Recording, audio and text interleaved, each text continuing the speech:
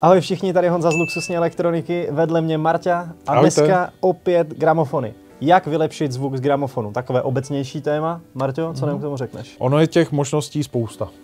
Jo, možná nejsou ani na první pohled vidět, ale těch Mhm, možností je uh, skutečně hodně, jak, ho- jak vylepšit ten zvuk ve chvíli, když už nějaký gramofon máte a uvažujete, že prostě líbí se vám jako ten gramofon, nechcete ho měnit, jo, ale prostě uh, vylepšit si ten zvuk, jo, co vlastně pro to se dá udělat, co kam šáhnout, co vybírat. Jedna věc je taková, řekněme, úplně primární, jednoduchá, i když spousta lidí přehlíží, je přenoska Mhm. sama přenoska, co vlastně snímá uh, ty drážky jo, na, té, na té vinylové desce, extrémně důležitá součást toho Ok. okay. gramofonu. Mnozí z vás to vědí, to je jenom pro ty, co třeba začínají s těmi gramofony.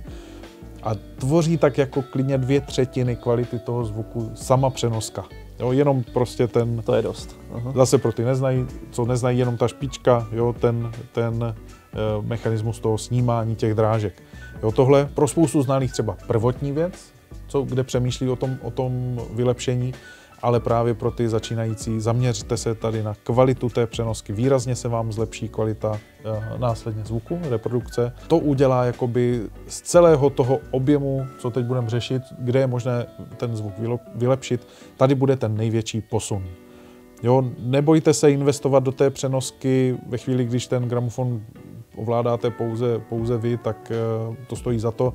Samozřejmě, když třeba děti ještě kolem toho chodí a pouští si na tom něco, tak to bych ještě počkal s tou investicí. Dá, dávat pozor, ano. Přesně tak. A, a, ale když už je to čistě váš gramofon, na kterém si pouštíte, tak tam nebát se do té přenosky investovat. Klidně cca, eh, co, co vás původně třeba stál ten gramofon, Mhm. tak do 80-90% té ceny se dá investovat do té přenosky eh, a budete tam mít ten, ten eh, posun. Jak jsem říkal, dělá to strašně moc. To je- jo, to je takže to je číslo jedna vědět, ano. je ta přenoska. Na druhém zase takovém celkem očividném místě, kde se dá ten gramofon vylepšit, jsou kabely.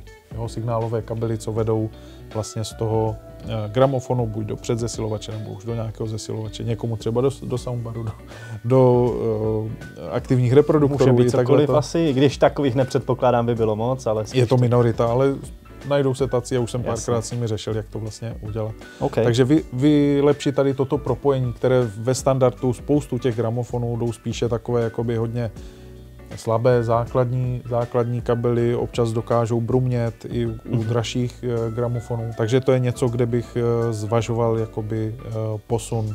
I AudioQuest dělá velmi kvalitní, myslím, že troje verze těch kabelů přímo propojení, jakoby dva cinče se zemnicí, vidličkou a eh, dva cinče na druhé straně.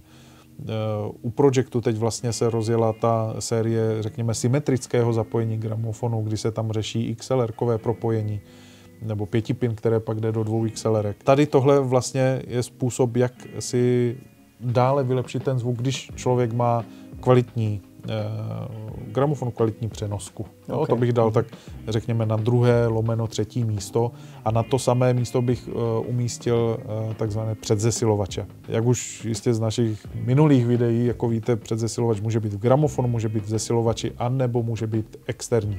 A právě na ty externí bych se chtěl zaměřit, protože je to něco, je takové nejlepší řešení. Jo, proto jak eh, předzesilovač v gramofonu, tak předzesilovač v zesilovači je eh, kompromisní řešení, je to takové uživatelsky příjemné, ale není to, není to úplně to gro, které je v tom externím předzesilovači, který si opět můžete, můžete kvalitativně naladit podle vlastně toho gramofonu. Tam je spousta výrobců, kde se dá sáhnout, eh, vlastně je to Project jo, dělá předzesilovače, dělá Rega předzesilovače, IFI, teď vlastně přichází Mhm, mm-hmm, mhm, Zenfono mhm. 3, což podle všeho je výborný eh, gramofonový předzesilovač a skvěle vybavený za svoji cenu. Takhle, takhle samozřejmě se dá, dá jít víc eh, dál a dál. Ale řekněme, ke gramofonu do ceny 30-40 tisíc bych ten předzesilovač, řekněme tak do 10 tisíc, Mhm, mm-hmm, jako bych jasně. viděl jako Ta reálně. čtvrtina asi plus minus CCA, třeba. ta Mhm. čtvrtka, čtvrtka té ceny, jenom takový jako, takové, takové vodítko hrubé. Zase orientační, hodně. Přesně Samozřejmě, když někdo bude chtít zainvestovat víc, tak Ano, čím víc, tím líp. Tady Ono- to platí asi. Ono je to zase v ohledu nejen, nejen pak gramofonu, ale když máte gramofon za 40, kde koupíte uh, přenosku za 40, jo, tak pak už předzesilovač za desítku jako tomu nestačí, tam to bude chtít kolem 25, 30, mm-hmm. abyste dostali ze všeho maximum. Jo, ale uh, ke klasickým gramofonům, kde ještě třeba nedošlo k té výměně přenosky, někdo se toho i bojí, někdo jako, že by to nějak pokazil nebo tak, Jasně. uh, tak tam doporučuji právě tady tyto předzesilovače CCA do té cenovky 10 tisíc nebo 400 euro pro naše slovenské zákazníky. Je to tak. A to je jakoby jedna věc. A zajímavější věc, o které naopak ví velmi málo lidí a kterým se dá ten předzesilovací část taky vy, eh, vyřešit, je takzvaný step-up transformátor, což je úplně jakoby pasivní řešení, to se vůbec předzesilovač ono zapojujete do elektřiny, ale step-up trafo vůbec ne, to je pasivní řešení. Nedávno s tím přišel Project a už dlouho to dělají firmy jako Clear Audio a další takovýto výrobci, výrobci gramofonů. A je to vlastně záležitost, kdy se ten signál sám pasivně tady v tomto, této uvozovkách krabičce, jakoby zesílí na to, že se dá pak klasicky použít i bez gramofonového předzesilovače. Dříve to bývalo hodně drahé, teď, jsou, teď se dá najít kvalitní řešení kolem vlastně 10-20 tisíc a může to, být, eh, může to být eh, taky možnost, na kterou se podívat. Ale už je to většinou ten takový krok dál. Eh, většina lidí řeší právě ten Když už máme vyřešený ten jako základ, dalo by se říct, tak až potom teda se dívat sem. Přesně okay. tak. A pak přicházejí, co se týká vylepšení, takové, jak tomu já říkám občas, piškuntálie. Babské rady, takzvaně. ano, ano, ale ty se řeší zase v rámci toho gramofonu jako takového mm-hmm. a to je třeba vylepšený talíř. Nebo když tam člověku prochází dost statické elektřiny, nedokáže se jí zbavit, tak eh, nějaká třeba eh, kožená nebo korková eh, vlastně taková, ne úplně destička, ale takový jakože korkový kotouč, na který položíte ten talíř, Jo, okay. a, a uh, už jsem taky starý, už mi ty, už mi ty názvy ne, ne, naskakují, tak si pomáhám. Jo, a uh, vlastně tímto, tímto směrem se zbavit té, té statické elektřiny, která jako taky vadí vlastně tomu přenosu toho zvuku. Naopak, co se dá předsadit přes, před ten gramofon, tak je filtr sítě, protože gramofony jsou extrémně citlivé na ruchy v síti.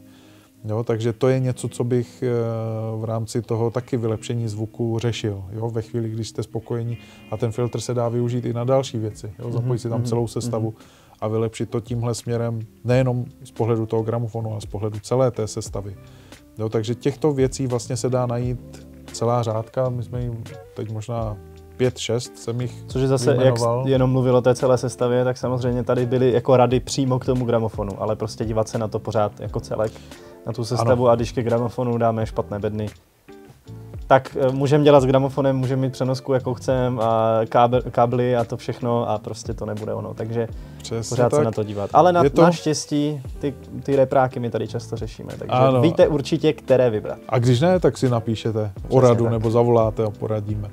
Je to pořád o tom, že musí se přemýšlet o celém tom řetězci, jo, nejenom o, jed, o jedné té části a my to často zmiňujeme, jak říkal, udržovat tu, tu sestavu tak na jedné vlně a e, nikde zbytečně nepřeplácet, anebo naopak si to nekazit nějakým levným řešením. Tak. Mhm. Jo, takže, takže z tohoto pohledu k tomu přistupovat i v případě toho gramofonu. On je to takový e, řekněme, starší způsob toho přehrávání, je to, je to často takový úplně by se dalo říct až dýchánek, jo, když si to člověk pustí, jo, je to taková to je relaxace. Výborné, výborná volba slova, dýchánek, to se mi líbí, je to pravda, a, ale jo, jo. Jo, a má to, něco, má to něco do sebe, i když samozřejmě přichází tam s tím, že je to takový mechanický přenos, nějaké problémy, jo, že ta dynamika je různá, když hrajete na začátku desky, nebo když jste u té písničky, co je uprostřed desky, jo, tak z těch úhlů tam jakoby vznikají jiné problémy, které třeba, já nevím, přehrávání CDček tolik nejsou, ale má to, je to, to kouzlo, rituál. má je to, to kouzlo svoje jo? za mě, jo, mm-hmm. určitě. A jak když už si pustím právě něco na gramofonu, tak už vím, že vždycky poslechnu celou tu část desky nebo tu, tu půlku. Jo, že to není o tom, že by člověk To si posouval. nepustíš jenom na jednu písničku, že jo, gramofon. Mm-hmm. No, hned přesouval. Nebo... Ta, co se mi nelíbí, dám další. Jo. To je daleko náročnější a člověk si tak užije celé to, celé to album. Ale musí na to být tak jakože nastaven. Připravený, přesně tak. Jo. A tím se dostáváme k takové, řekněme, poslední a zároveň první věci. Poslední první, OK. Přesně tak. A to je udržovat ten gramofon, ty desky, tu přenosku čisté. Jo, to je něco, na co myslet. Minimum je tam prostě skutečně tím štětcem vlastně před tím přehráváním vyčistit tu desku, štětečkem nejlépe i, i, i tu přenosku. Jo, je možné, že jsem zachytil nějaký chloupek. Jednak to kazí zvuk a snižuje to životnost, jo, jak desky, tak i té přenosky. Takže udržovat to v čistotě. E, možností jsou i jakoby nějaké pračky těch, těch vinilů, když máte prostě delší, no, větší, větší knihovničku, větší, větší albotéku, tak využít tady tuto možnost, protože opravdu čím čistší deska, tím déle vám ta přenoska i ta deska vydrží a tím lépe bude hrát.